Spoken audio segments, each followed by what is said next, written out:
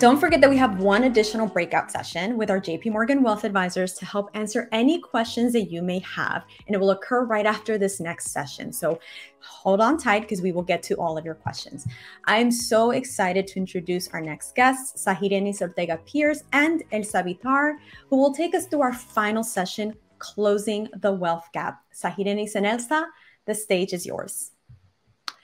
Thank you so much, Vanessa, and thank you for including me and Elsa in this amazing, amazing summit. I hope all of you guys are having a great time.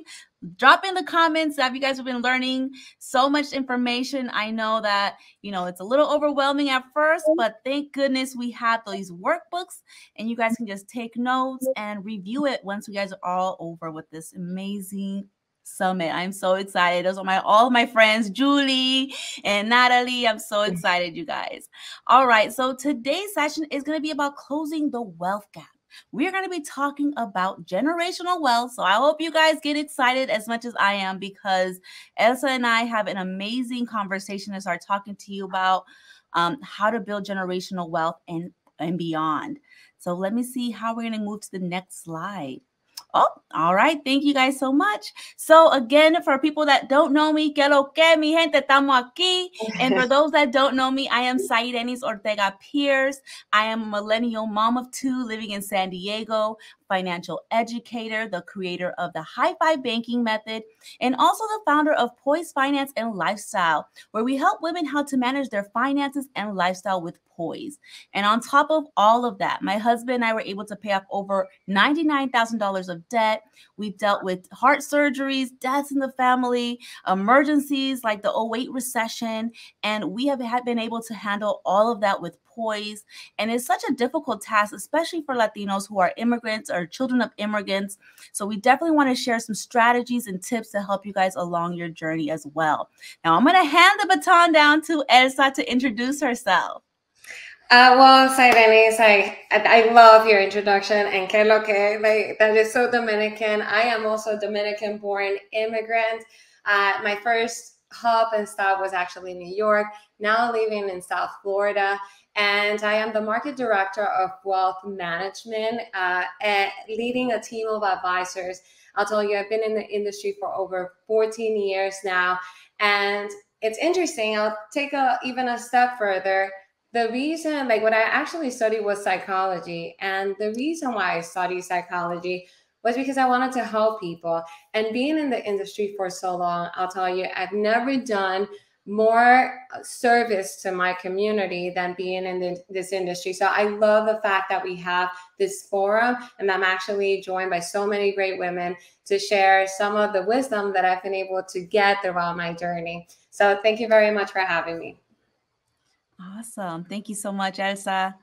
So in your workbooks, you're going to have a prompt where it says, What does generational wealth mean to you? As Latinas, we know that this word means a lot of different things to other people. For some, you might be passing down assets to your children. For others, it may be becoming a pillar in your community and, you know, passing on generational knowledge. Elsa, I want to know what generational wealth means to you. And for everyone that's watching, please jot down what you think generational wealth means to you as well. So it, it's interesting because at the end of the day, like what, like for for us, when you think as um, in investing as a, a Latina, um, passing on the wealth to other uh, others is definitely the way that we're going to be those cycle changers. Uh, we hear a lot about um, being able to like we we hear about our parents like we heard so many great stories now. And then when you think about being that like generational wealth or bringing that generational wealth it is about how we're going to be able to close in the gap and how we're going to be that cycle changer how we're going to take the information that we're getting today and we're going to go ahead and make it actionable because it means nothing if we keep it to ourselves Absolutely. And I love that because when I think about generational wealth, you know, I grew up like a lot of you guys where it was all about family first, generational wealth, investing in real estate and coming to America and setting your mark. And one thing that I realized when it comes to generational wealth is that it's not a race, it's a relay race every single person in our family has done their part to pass the baton as further as possible so that we can be where we're at. And that's kind of how I look at it when it comes to gener- building generational wealth because such a big accomplishment. It's a big goal to be like, oh, I passed over a million dollars. I passed over, you know, it's all this investment real estate but it's really about not getting overwhelmed and focusing on your portion of the race and realizing that your portion of the race is going to help the next generation reach even higher rates and move even faster and strive to the next portion of creating generational wealth for them and their families. And you know, again, just reevaluating what you think generational wealth means, regardless of what it was for your parents, and reevaluating that for yourself. So, really think about this, you guys, and keep on reevaluating that. If you need to scratch some things out and doodle some things on the side of the workbook, go ahead and do that. That's what this whole session is about. All right, let's get into the questions for Elsa. oh my goodness, this is such a great question.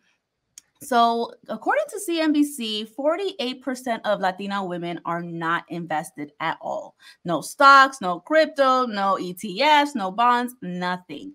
Can you please share why investing is so important in the Latinx and Hispanic women community?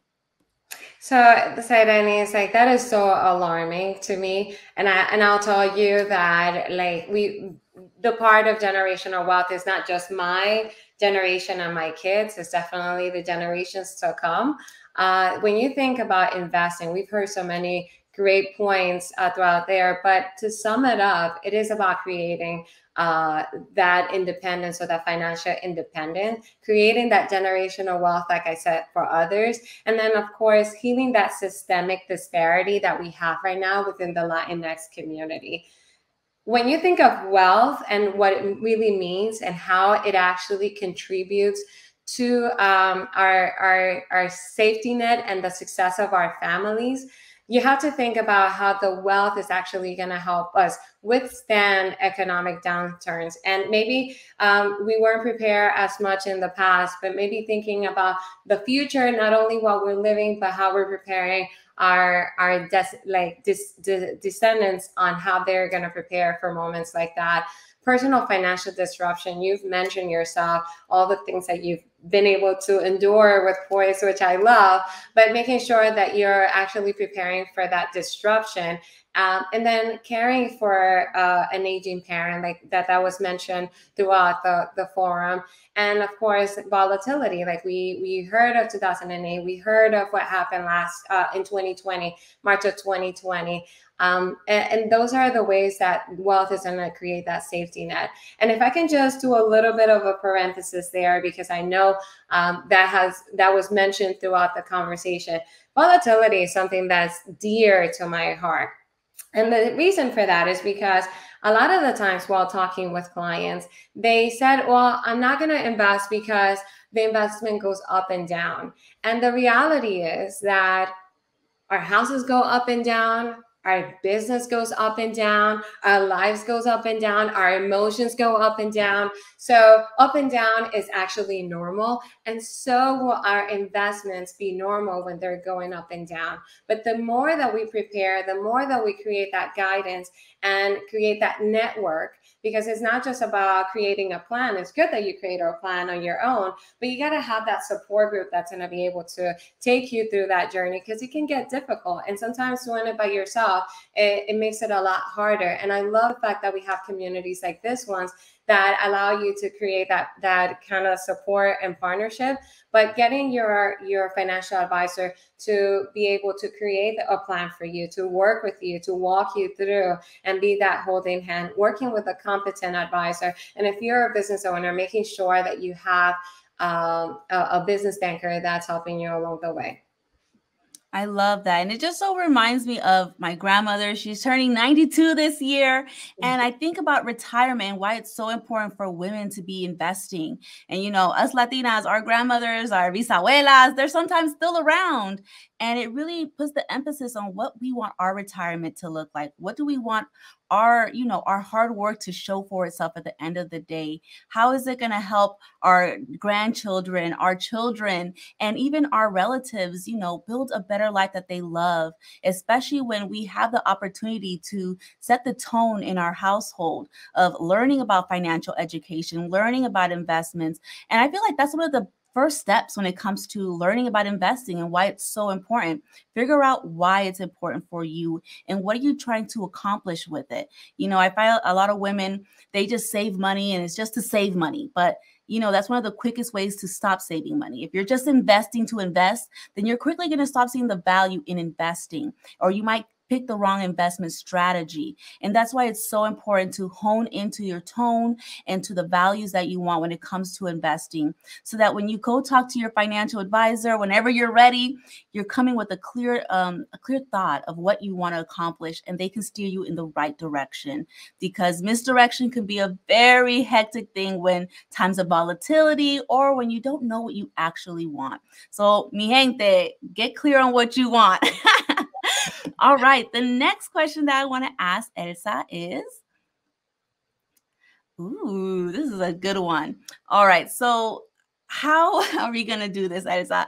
There's so many Latinos and Hispanic women that are wanting to close the wealth gap, but just don't know how to. What are some tips or advice that you can share with us today? So eh, it's interesting because we've heard so many great ones already. Uh, so some might sound a little bit repetitive.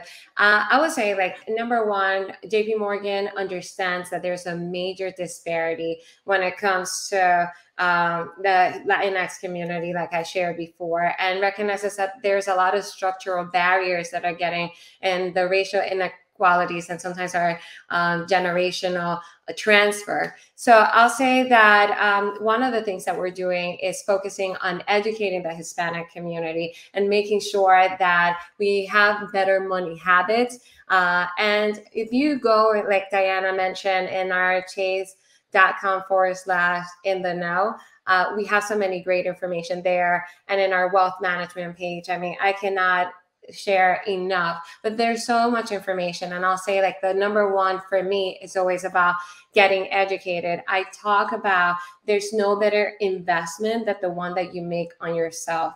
And part of that investment has to be um, making sure that you do get in front of as much information as possible. Um, well, so one of the things that uh, uh, Julie mentioned, um, she said about uh, taking risks. So as I met with a lot of our clients, I see how the risk factor really comes along and i guess it's tied up to that volatility because we we don't want to take a, a lot of risk uh, and sometimes it makes it hard for us to make a decision but taking the steps that we've heard in the past making sure that you're taking um, the guidance of an advisor ensuring that you're talking about what is your plan? What does it look like? And not just financial plan it has to be your life priorities. What is it that you want to accomplish? When you sit down when you close your eyes what are you really thinking about? What does 20 years from now really look like for you? What do the next five years what do the next year and how is it contributing to your overall plan is definitely going to be important. Um, I, I talked about being a cycle changer when you think about generational wealth and the reason why i say that that, something that's also very dear to my heart is that we got to start educating our kids. And when you think about the dinner table that was mentioned often uh, throughout the summit, I don't I don't even know what the dinner table really was because we didn't have the table. So, uh, but now we have that opportunity to actually talk to our children. And if you do sit with a JP Morgan advisor, we have something that's absolutely great that talks about children and wealth. And the reason why I love that is because it tell, tells you step by step what are some of the ways that you can start talking to your children and and, and the different ways in which you can help them with investing? And i'll tell you it, it's a whole lot different when you have your kids not only talking about savings but also like having that conversation about you know what? I have my investment account and what a proud moment is that going to be? I know we heard about having an emergency fund so definitely three to six months uh, that has to be part of it, uh, making sure that you pay your high interest debt. But as you're paying off your debt, how are you going to repurpose that money into something that it's going to add towards that overall goal that you're setting up for yourself and thinking of paying yourself first. I know we've heard it in the past, but nothing like a good refresher. You got to pay yourself first because if you're not okay, then nothing around you is going to be okay. We we tend to be like the core of our families. So making sure that you're you're taking care of yourself and your finances is definitely going to be key. Um, the other piece that we heard, it's about having it automated. I think that's definitely something that that's going to be very important. Creating that portfolio because once you sit with your advisor, you create this strategy, and now like we forget about it. And when we have something that's invested, but then we get these new assets and these new funds, and we don't know what to do with it. So think of like getting a raise. Sometimes when we take that raise and we actually spend it or get something even uh, more expensive, well, let's repurpose that and put it automatically into some sort of portfolio um, where you can dollar cost average into your investment and get the highs and the lows of the market. So now this would allow for you to continue to build on that wealth. I love that. And it really does remind me of how we want to build generational wealth. And the only way that we can build generational wealth and kind of fix that gap is to make sure that we have a strong foundation so that we can always rely on knowing that we have a game plan for if we do lose our job, if we have an emergency fund, knowing that we're having a game plan when it comes to paying off debt. And just having that financial foundation is going to allow you to start building debt. That's something that my husband and I experienced. You know, we're children of immigrants and a couple who were, our parents were both greatly affected by the 08 recession, where they pretty much lost everything everything. So I felt like when we're trying to build generational wealth, how do you continue to build it when it keeps on going backwards? You know, it keeps on tumbling down to the floor. So my husband and I have made it a priority and we've talked about this, you know, our financial triggers and things that concern us like volatility so that we can build a strong financial foundation so that if we, we do pull back, we know that we have something solid to land on and that we can still continue to build forward and that our children can continue to build forward because they've seen us as role models, meal prepping together, having budget meetings, talking about investment plans so that, you know, we're both in the same plan when it comes to, you know, how much money we want to put towards retirement. Do we want to start a business?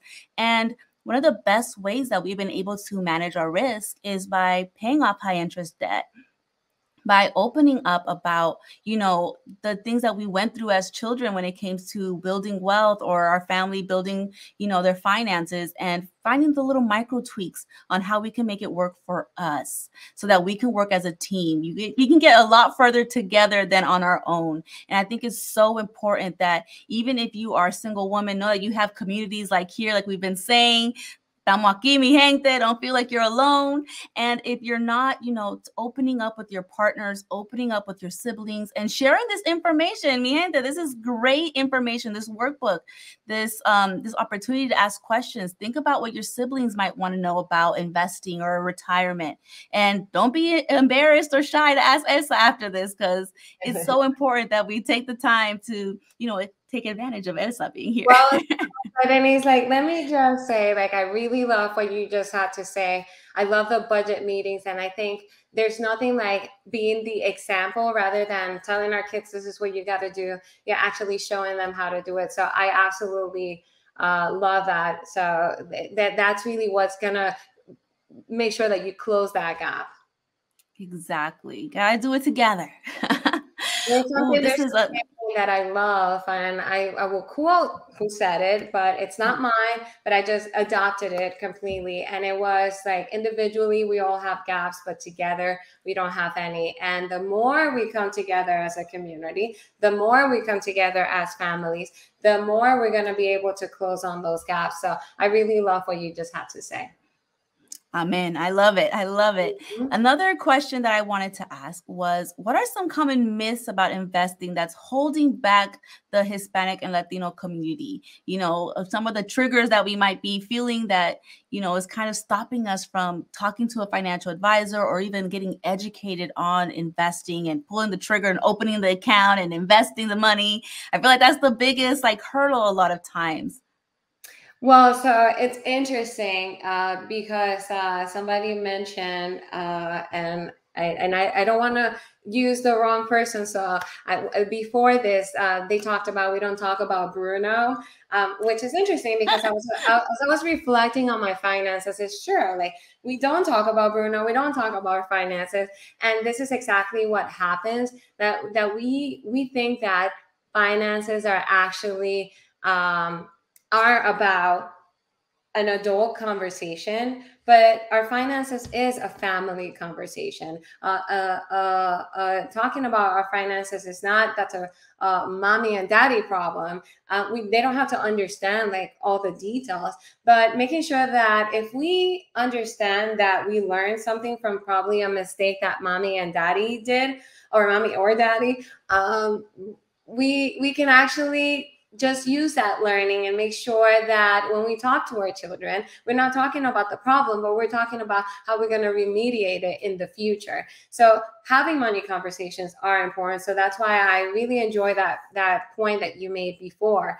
And then um, the other piece that I hear a lot about is um, at, at coming from an immigrant family, being an immigrant myself, and being around a lot of immigrants, um, we are very credit adverse and we're all, also very distrustful of the institutions and financial institutions, the banks.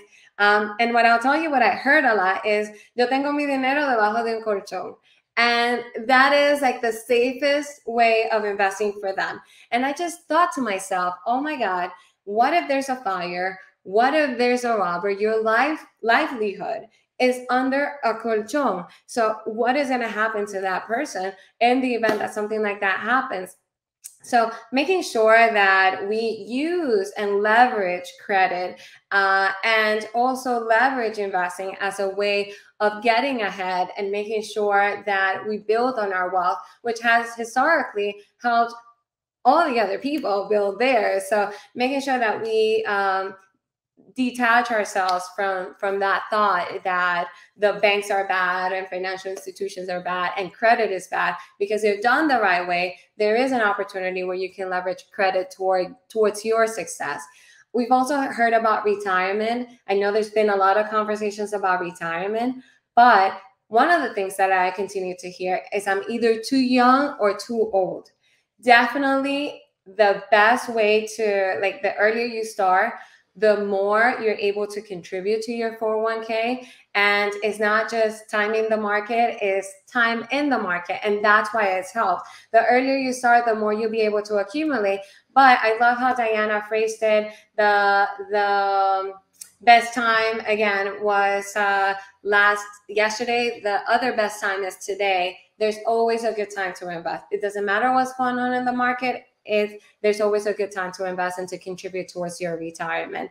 And then um, one of the other things that I continue uh, to to think about is like they, they talked about insurance, uh, real estate, um, estate planning. We think that we got to be rich to invest into estate planning, um, and the reality is that it doesn't matter how much money you have sometimes the complexity of your family requires for you to have some sort of estate plan and maybe like starting little and talking with somebody that can guide you is a reason to talk to an advisor. Investing is not just for the rich it's actually for everybody. And and when we think about closing the gap the more we're able to break that mentality and actually start investing ourselves, helping our children and those around us, and getting in front of the information, that's how we're going to be able to continue to close the gap.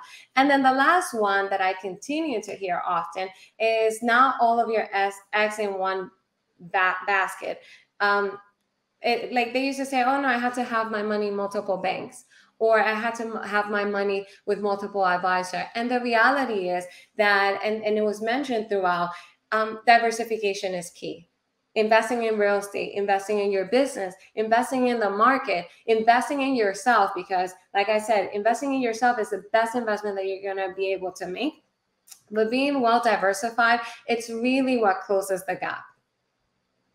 I love that. Thank you so much, Elsa. I'm sorry that I cut out during your conversation or what you were answering. Um, I feel like the common myths in when it comes to building wealth is very complicated because for a lot of Latinos, we have, especially Latina women, we have a lot of mm-hmm. obligations and you know, kind of like stereotypes of, oh, 48% of you guys aren't investing. And you have to remind yourself that you don't have to be a statistic you can step out of that. You can be start investing now and get out of that statistic completely. That's a mindset at a certain point to continue being in that place. And it, one of the things that always motivated me was to remind myself that I set the tone for my finances, how I want to live in retirement, how I'm going to teach my children about education, um, if investing, saving, and the values that we want to have you set the tone. You do not have to continue listening to these myths or these statistics. You do that. That's why it's so important to save with purpose, spend with purpose, and invest with purpose so that you can start gaining control of your finances and not letting these myths deter you from building generational wealth. All right, let's go on to the next question because this, this is an amazing, amazing topic talking about children, Elsa and I both have little children. How do you invest in your children's future? So uh, this is also dear to my heart because of children and wealth. So I'll tell you, investing um, in, into your child's education can be different for everybody, and that's why it's important to get guidance. But one of the easy ways that you can look into is our 529 plan is definitely something that can help you towards your the financial education of your child. When you think about the 529, it has some tax advantage. It can grow tax defer, and when you withdraw it, um, it can actually be tax free when used for qualified educational expenses. Um, but for that, make sure that as you're talking with your advisor, that you ask questions. And some might give you additional tax advantages over other, depending on where the state that you actually set it out. So make sure that you actually talk to, to your advisor about that. We have the Coverdell plan as well that behaves very similar to the 529. And for those of you that live in Florida, just a quick commercial, um, we also have the prepaid plan um, that allows for you to invest with today's dollar for a future child's education. So if you're considering moving down to Florida, something to really look into, um, that could really be a great complement to the 529. I love that. I have a 529 plan for each of my children. And, you know, one of the other things that we are also doing to invest in our children is making sure we're taking advantage of our healthcare coverages, of our schools, and getting them extra care if it comes to, you know, extra speech therapy, if it comes to teaching them Spanish in class, all of these little things that you know, really do help our kids progress and feel like they are ready to take the next step when it comes to college or starting a business, you know, really instilling to them that you can learn anything that you want if you put your mind into it. I love this 529 topic because, again, my children, I'm like, that's my future right there. well, let's head on to the last question because we are wrapping this up. I know we've talked so much. I'm so sorry that we've oops that we've kind of um, went over budget on time with you ladies. But before we let you go, well, sorry, Denise, you... as long as it's not over budget on your finances, you're good. That's okay. How do is that one last question? Uh-huh. Before I let you go, if you can answer this last question very quickly, how can we invest to bridge the wealth divide in our own communities specifically?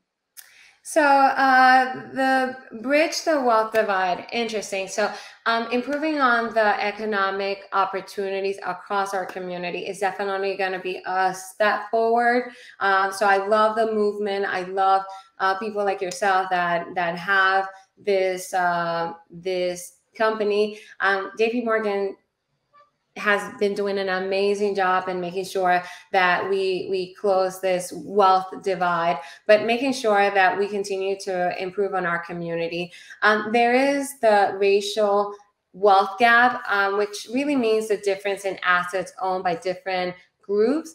And the wealth gap really results from the different economic factors that we have out there that are like are impactful and become a variable for the well-being of the different groups. When you think of the census of 2020, actually the average mean was 55,000 for our um, our Hispanic community. And what I want to actually do a quick shout out to my mother. She actually doesn't speak English very well, but she should be really the person that should be doing this forum because I'll tell you, she was uh, on a budget of well, on an income of 11,000 when I was growing up, four children, taking care of her dad, having different um, like all different family members used as a hub my house before they actually got their own.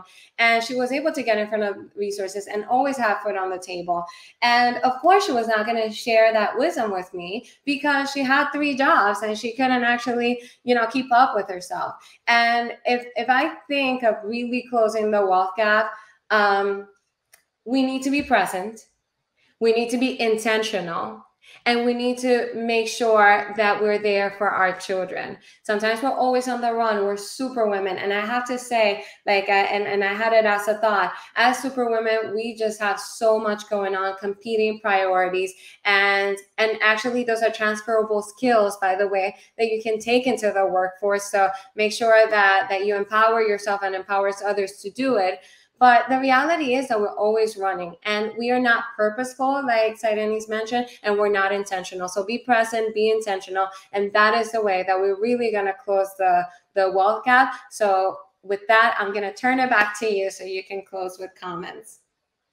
Thank you so much, Elsa, and all of the amazing people on this panel and on this summit. This is an incredible opportunity for us to really think about how we want our generational wealth to last. And in our pamphlets, you're going to have a love letter that you guys are going to be able to write yourself how you want to build generational wealth, what are the struggles that you're dealing with, and also what you hope your generational wealth will mean for you and your family moving forward in the future. So you guys can write on that to right now or after this summit ends and really know that you guys can keep this and remind yourself of what this is all about. Well, thank you so much again for having me, Elsa and Vanessa and everyone. Thank you. We hope you guys learned so much. This is an amazing, amazing summit. Sahirenys, Elsa, thank you both so very much. Amigas, I'm so excited to welcome you into the breakout session to get your answers question. Okay, so the first question was 32. What are some beginning steps we can do that are possible to start investing? So at 32, what are some of the beginning steps to start investing? The well, so the first thing is um, having an emergency fund. Uh, start creating some sort of habit in contributing to your uh, account. But there's so many ways that you can automatically set up a portfolio, whether online, um, that you can start continuing to invest into it. Um, I would say that we have uh, the, if you start with 25, there's a latte factor, which I didn't mention. But if, if you decide to give up, let's say a latte, for me was chai tea latte, $6 times five days is actually $30. So maybe have one latte and use like 25 to actually invest it. So that's how you start. But get some guidance. I will visit one of our, uh, our branches and talk to a financial advisor. That is so true. It's the power of making those small choices because it is possible for everyone to start investing regardless of the age.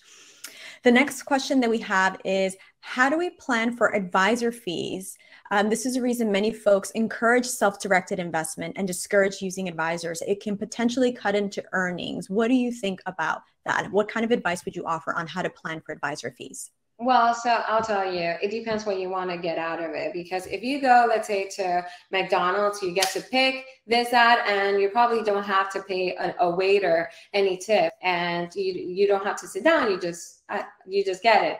Um, so, or like any fast food restaurant is what I need.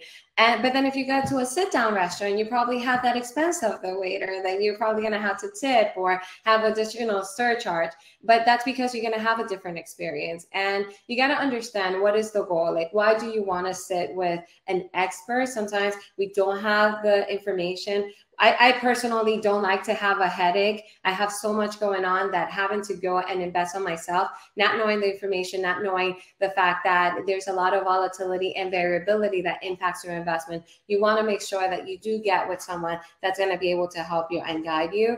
But if what you're looking for is something a little bit more passive, you probably don't need a financial advisor. So I, I will probably just make sure that I get educated. How do they get paid? What are some of the ways that that they're going to be able to help you? If they're not talking to you about your plan and what's important to you then that's a fee not worth it. If they're not contacting you that's a fee that's not worth it. But if they're going to be on top of your investment and following up with you and guiding you through the process and holding your hand then that's somebody that might be worth the fee. Now what you just want to make sure is that you're not paying in too much. So get an, a guide as to what's the average investment uh, fee that's out there so the beautiful thing is that there are options. You can either get the support of a trusted JP Morgan Wealth advisor, or you could also do the self-directed investment, which JP Morgan Wealth also offers. Thank you so very much.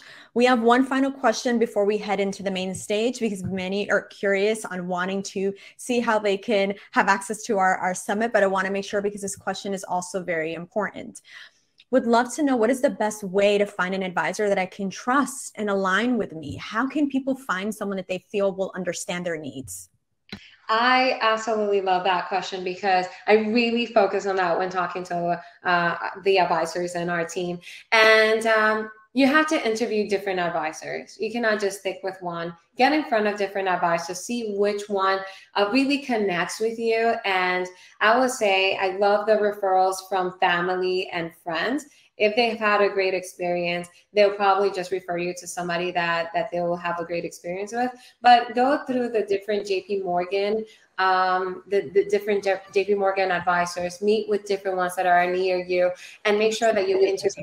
And some of the oh. questions that I'll have for them is like, how are they going to actually help you? How do they work with their clients? How often do they contact their clients? And make sure that there's some sort of connection that you find that they actually have an interest on what's important to you.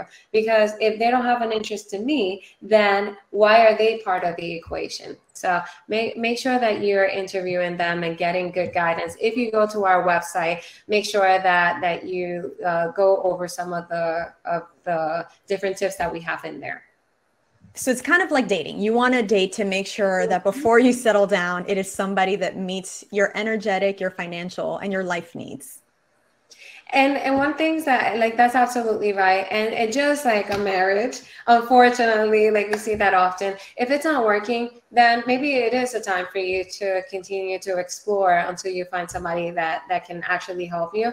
But it is important that you stay committed because if you find a good advisor, don't start shopping around when you don't need to or listening to somebody that's going to uh, bring somebody else that could potentially be better because that also affects into your investment. They'll probably come up with a different strategy and impact on the potential success of your portfolio. Beautiful. Elsa, thank you so very much. I don't know about you, but I have learned so many amazing nuggets of wisdom, things that I wish I'd learned earlier on. But what I got from all of these amazing, beautiful speakers is that it's never too late to start. I want to give a very big thank you to all of our speakers, our JP Morgan Wealth Management partner, and our ASL interpreters, Ashley Rodriguez and Lex Lopez. It has been a true delight, and that we hope Amigas in Wealth has inspired you to fully step into your abundance to build a thriving life that you are so deserving of, Amiga. For those of you with additional questions, um, please put them in the chat, and our JP Morgan Wealth Advisors teams will do their very best to get back to everyone. Thank you so very much. Have an abundant day. Take care, everybody. Gracias, amigas.